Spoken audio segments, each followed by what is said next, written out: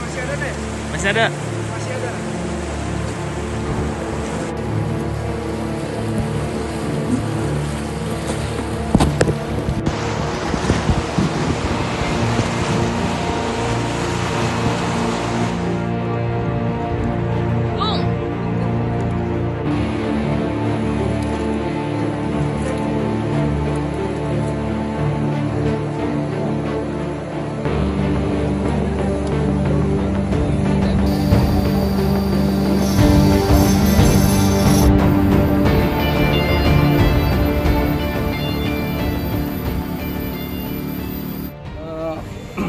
ditemukan di Sungai Cibulan itu atas eh, penyisiran yang dilakukan oleh tim tim gabungan dari TNI, dari Basarnas, dari eh, Polri, gitu, Polri yang diwakili oleh Brimob yang uh, hasil Kalau dievakuasi tuh gimana? Evakuasi di Setelah dievakuasi, korban langsung di eh, dibawa ke rumah duka di kampung Cinangsi, desa Mandala Mekar, kecamatan